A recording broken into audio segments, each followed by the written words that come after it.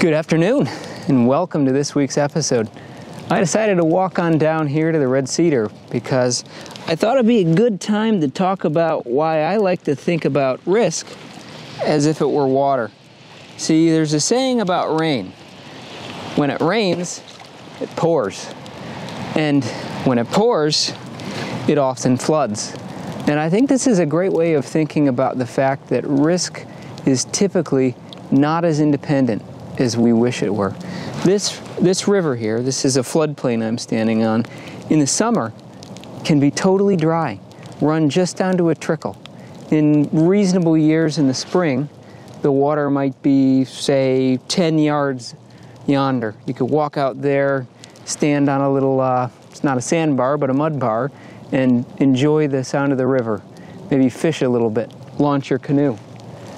But today, with an ice dam and some snow on the ground that's just melted, and obviously more than a, lick of rain, we have a different situation.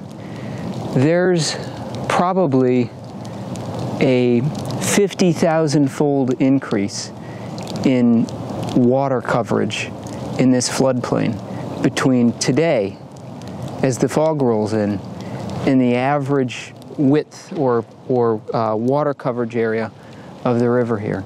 And this is not unique to water. In many situations, the drivers of risk are correlated. And when we look at our, our, let's say, risk register, and we see these independent risks because we've written them down on separate lines, we often model their probabilities separately. We think about them separately. Our mitigation plans, our tabletop planning, we don't properly consider the idea that many of these risks are correlated. When it rains, it pours.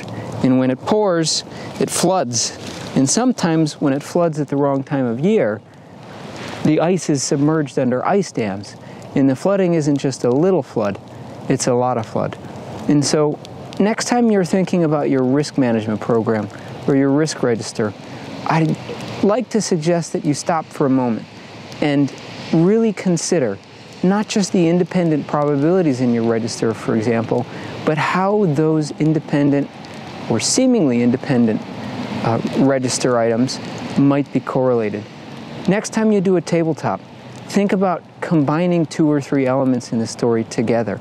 Don't let yourself get away easy on these things because, again, in reality, as insurers and reinsurers will tell you, these risks are correlated, and when you most need to manage them, you will find that they occur together. So I'm not going to go much further out here because uh, the water still runs pretty hard back here. But I hope you have a nice week, and I hope you're uh, warmer and drier than I am. See you next time.